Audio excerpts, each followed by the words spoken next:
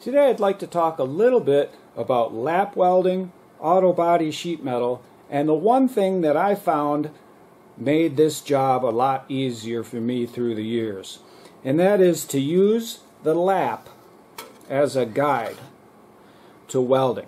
So when I when I put a spot weld on this lap, I'm gonna I'm gonna run this welder right into that lap joint right there. And I use that as a guide. So then when I go to weld, I just find that, and then I know my spot weld is going to be exactly centered right where I want it. So put it there, 45 degree angle, bang.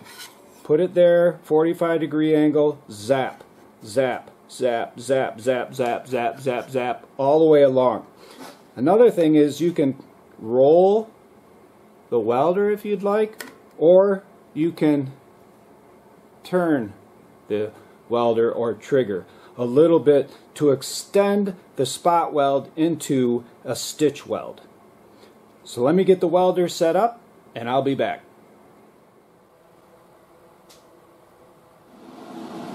Okay, so let's give this a try.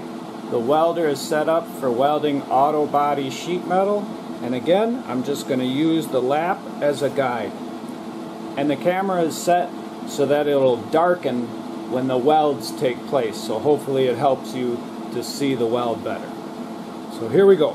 45 degree angle and using the lap as a guide. So I'm going to stick it right there and I'm just going to pull the trigger for about one second.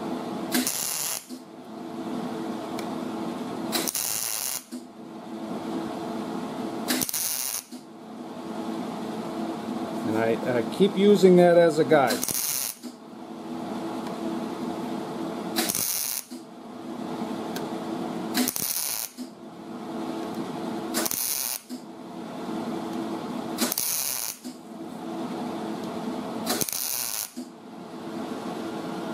Now, those are just spot welds. If you want to change it to sort of a stitch weld, you can start out here and twist the handle.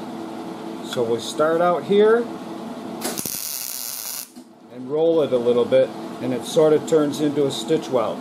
So start out here, roll it, turn it into a stitch weld. Now that one's got a little bit of a weird thing that happened to it. We'll do it again.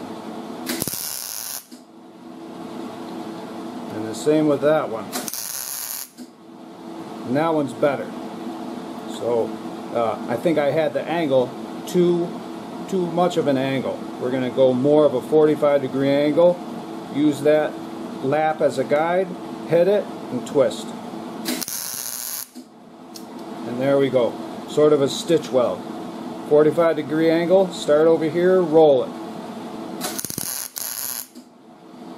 And that one sort of messed up a little bit, but it still looks good. And there we go.